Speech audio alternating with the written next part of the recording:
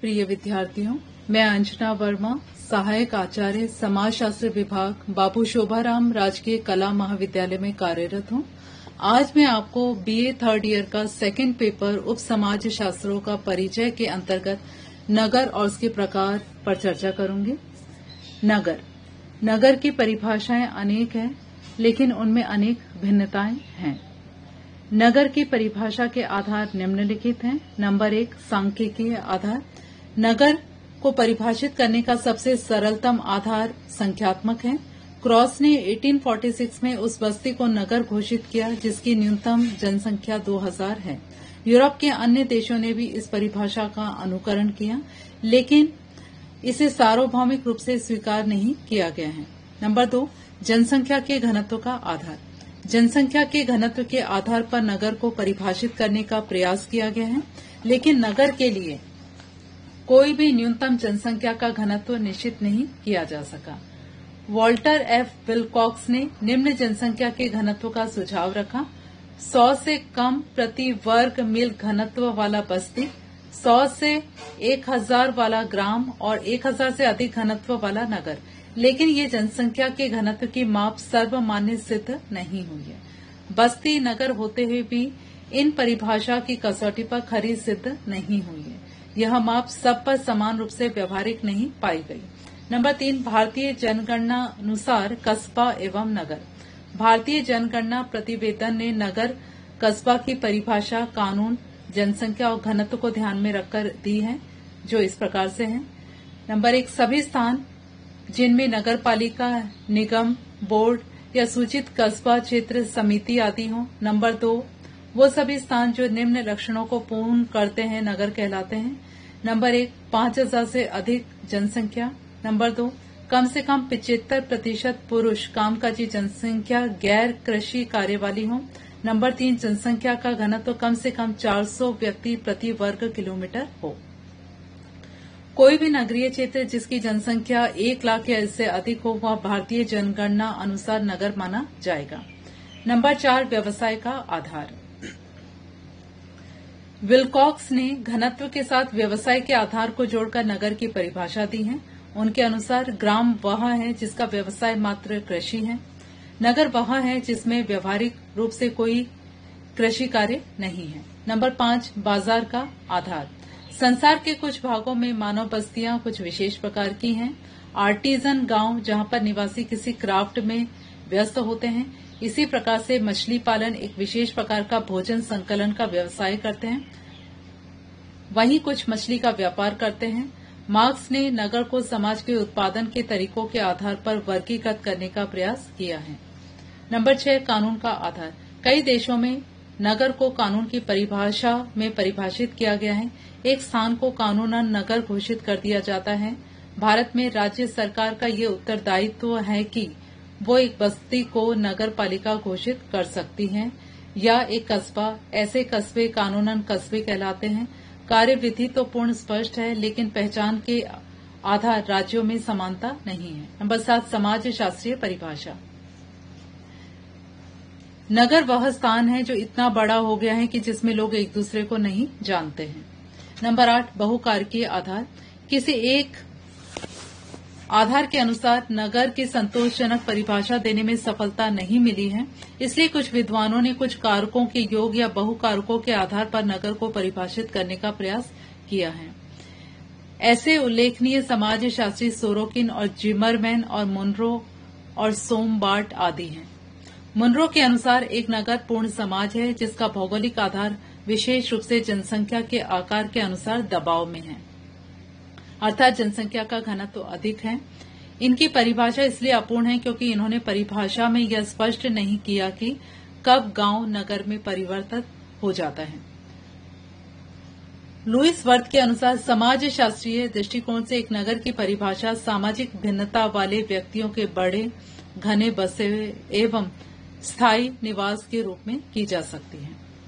उपयुक्त तो परिभाषाओं के आधार पर यह निष्कर्ष निकाला जा सकता है कि नगर का अर्थ जनसंख्या की अधिकता, श्रम विभाजन और विशेषीकरण, औपचारिक एवं द्वितीयक संबंध, नियंत्रण के औपचारिक साधनों का प्राधान्य और लोगों का गैर कृषि कार्यों में लगे होना है। भारतीय जनगणना प्रतिवेदन के अनुसार इसके अतिरिक्त जिस समाज की जनसंख्या पाँच हज़ार से अधिक हो तथा जनसंख्या का घनत्व 400 व्यक्तियों से अधिक हो तो उसे कस्बा या ग्राम, कस्बा या नगर कहा जाता है। नगर की विशेषताएँ। नगर की निम्नलिखित विशेषताएँ हैं। नंबर एक है जनांकी की विशेषताएँ। जनांकी की विशेषताएँ निम्नलिखित हैं। नंबर एक, जनसंख्या का आधिक्य। नगरों की प्रमुख विशेषता जनसंख्या का आधिक्य है। जनसंख्या आधिक्य के साथ साथ जनसंख्या घनत्व भी अधिक पाया जाता है। अनेक नगरों में जनसंख्या घनत्व 150 हज़ार व्यक्ति प्रति वर्ग मील से भी अधिक है। भारत में एक लाख या इससे अधिक जनसंख्या वाले स्थान को नगर कहा गया इससे भी अधिक जनसंख्या वाले स्थान महानगर कहलाते हैं। दिल्ली, मुंबई, कलकत्ता, मद्रास आदि इसी श्रेणी में आते हैं। यहाँ पर आवास, गरीबी, बेरोजगारी, अपराध और प्रशासन आदि समस्याओं के रूप में दृष्टिगोचर होते हैं। नंबर दो, जनसंख्या की विषम रूपता। नगरों में जनसंख्या का अधिक अधिक होता है और ये जनसंख्या विषम रूप भी होती है। अनेक मतों व धर्मों के अनुयायी विभिन्न संप्रदाय, वर्ग, जाति, प्रजाति, भाषा एवं प्रांतों के लोग निवास करते हैं। उनके अनेक प्रकार के व्यवसाय, रुचियाँ, मनोवृत्तियाँ होती हैं। उनकी वेशभूषा, परंपरा रहन सहन जीवन स्तर संस्कृति एवं सामाजिक मूल्य आदि में विषम रूपता होती है। नंबर तीन, स्वास्थ्य व मनोरंजन के केंद्र। नगरों में व्यक्ति को स्वास्थ्य से संबंधित सभी सुविधाएँ उपलब्ध होती हैं। यहाँ हर प्रकार के रोगों का निदान व चिकित्सा के लिए उच्च स्तरीय अस्पताल होते हैं। ये अस्पताल भी विशेषीकृत होते हैं। यहाँ पर सिनेमा हॉल, नृत्य, संगीत कला केंद्र, टेलीविज़न, रेडियो, नाट्यशालाएँ आदि अनेक मनोरंजन के साधन सुलभ होते हैं। ताज़ा हवा व स्वास्थ्यप्रद वातावरण के लिए उद्यान, बाग बगीचे होते हैं। नंबर दो, आर्थिक विशेषताएँ।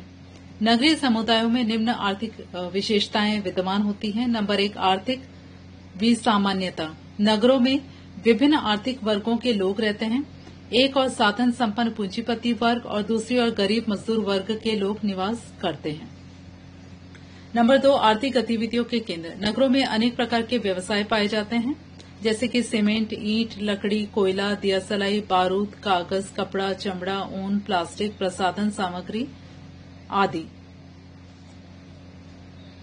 इससे व्यवसायों में बाहुल्यता होती है।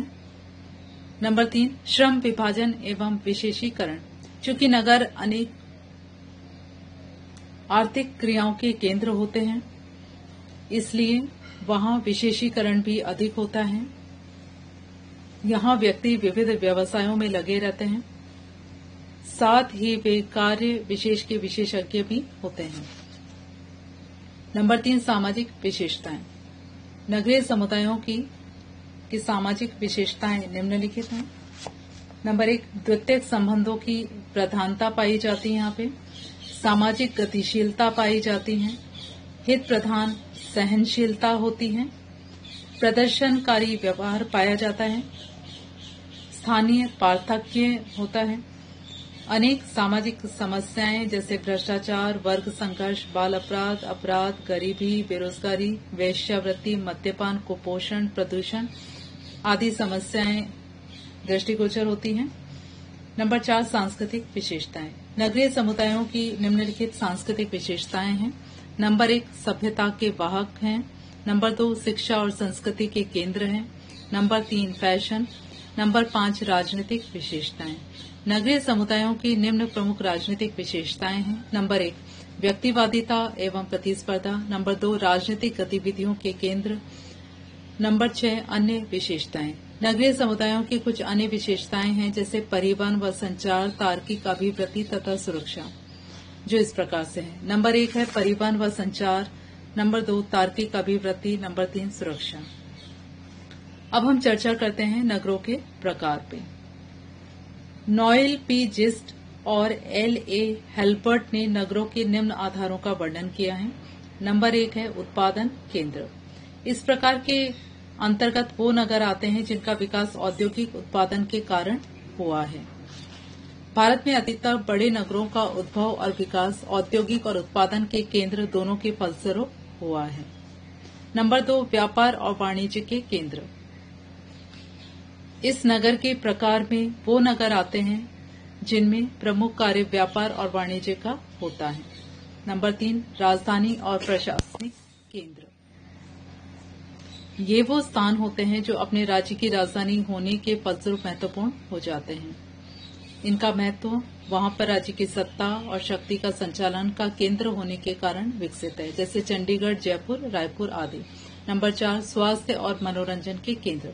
इस प्रकार के नगरों की जनसंख्या की जीविका वहाँ पर आने वाले पर्यटकों और स्वास्थ्य लाभ पाने वाले लोगों पर आधारित होती है।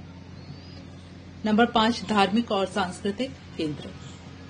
भारत में अनेक धार्मिक केंद्र ऐसे हैं जो अपने धार्मिक महत्व के कारण नगर और महानगर में विकसित हो गए वहाँ के लोगों की आय के साधन आने वाले तीर्थ यात्री हैं। भारत में काशी प्रयाग बोधगया रामेश्वरम जगन्नाथपुरी अमृतसर तिरुपति अजमेर पुष्कर आदि धार्मिक महत्व के, के कारण नगरों के रूप में देखे जा सकते हैं। नंबर छह बहुशाखीय आधार। कुछ नगर ऐसी अनेक विशेषताओं वाले हैं जो उपयुक्त वर्णित नगर के प्रकारों से भिन्न हैं। जैसे कुछ नगर धार्मिक महत्व वाले हैं परंतु वो राज्य की राजधानी भी है। उनके नगर के रूप में विकास का कारण कुछ और है। इसलिए ऐसे नगरों को उपयुक्त तो वर्णित नगर के किसी प्रकार के अंतर्गत रखना उचित नहीं होगा। इस प्रकार की विशेषता वाले नगरों का कस्बों को बहुशाखीय कहना अधिक उपयुक्त होगा। नंबर दो, कामिल्ला रेसिया नगरों का वर्गीकरण। रोसिया ने नगरों का वर्गीकरण उनकी रचना और स्थापना के आधार पर किया है। उनके अनुसार नगर के निम्न दो प्रमुख प्रकार हैं, प्राकृतिक नगर और निर्मित नगर। नंबर तीन, नगरों का कालक्रमिक वर्गीकरण। भारत के नगरों का कालों के आधार पर निम्न तीन कालों में वर्गीकृत किया जा सकता है, प्राचीन नगर, मध्यकालीन नगर, आधुनिक नगर। नंबर तीन, जनगणना अनुसार नगरों का वर्गीकरण। भारतीय जनगणना प्रतिवेदन के अनुसार कस्बों और नगरों का वर्गीकरण जनसंख्या के अनुसार छह प्रकारों में बांटा गया है। नगरों के प्रकारों का उद्भव और विकास। ऐतिहासिक अध्ययन के दृष्टिकोण से नगरों के प्रमुख निम्न पाँच प्रकार निश्चित किए गए हैं। नंबर एक है प्रथम नगर। नगरों के उद्भव और विकास के लिए कुछ प्रारंभिक पूर्व व्यवस्थाओं का विकास होना आवश्यक है। कृषि के उत्पादन और खाद्य पदार्थ की बाहुल्यता दोनों आवश्यक है। तभी नगर की बहुल जनसंख्या के लिए खाद्य पदार्थ की व्यवस्था संभव हो पाती है। अधिकतर बड़े नगरों का उद्भव और विकास व्यापारी मार्ग पर हुआ था। ममफोर्ड के अनुसार प्रथम नगरीय बस्तियाँ नदी के किनारे विकसित हुई थी। इस अवस्था के अधिकतर नगरों की सुरक्षा के लिए चारों ओर परकोटे थे। इन नगरों की जनसंख्या को धर्म, एकता में बांधकर नगरीय समाज का रूप प्रदान करता था। नंबर दो, वास्तविक नगर। क्लासिकी नगर सही अर्थों में संसार के वास्तविक नगर थे, जैसे यूनान। यूनान नगर का उद्भव अंधकार युग में हुआ था। नंबर तीन व्यापारी नगर, व्यापारी नगरों के विकास के कारण यूरोप के सामंत समाजों का नगरीय समाजों में रूपांतरण हुआ था। नंबर चार, प्रौद्योगिकी नगर। संपूर्ण संसार में औद्योगिक क्रांति में औद्योगिक नगरों का विकास हुआ। कारखानों में वस्तुएँ बनने लगी। कारखानों वालों ने वस्तुओं को सस्ता करने और लाभ में वृद्धि के लिए जो है प्रयास किए। नंबर पाँच, उत्तर औद्योगिक नगर। उत्तर औद्योगिक नगर अर्थात वर्तमान के संदर्भ में भविष्य में नगर कैसे होंगे की कल्पना करता है। आज इंटरनेट, मोबाइल, फ़ोन तथा अन्य संचार के कारण आवश्यक नहीं कि उद्योगों के संचारण और नियंत्रण के लिए कार्यालय उनके साथ स्थित हों। कॉल सेंटर ने इस प्रशासनिक व्यवस्था को संसार के किसी भी स्थान पर स्थित करना संभव बना दिया है। अधिकारियों को भौतिक या शारीरिक उपस्थिति आवश्यक नहीं है। लोग संसार के किसी भी स्थान पर रहकर कार्य कर सकते हैं। नगरों के उपयुक्त वर्णित प्रकारों के प्रारूप के आधार पर नगरों के प्रकारों का कोई एक वर्गीकरण का प्रकार निश्चित नहीं किया जा सकता। नगर धार्मिक, सांस्कृतिक व्यवसायिक मनोरंजनात्मक या कोई और विशेषता एक ही नगर को ही हो सकती है। नगर के कार्य लोगों की आवश्यकताओं, समय और स्थान के कारण परिवर्तित होती रहती है। अतः यह कहा जा सकता है कि भविष्य में नगरों के प्रकारों का कोई एक प्रारूप शुद्ध सटीक और सर्वमान्य निश्चित नहीं किया जा सकता है। धन्यवाद।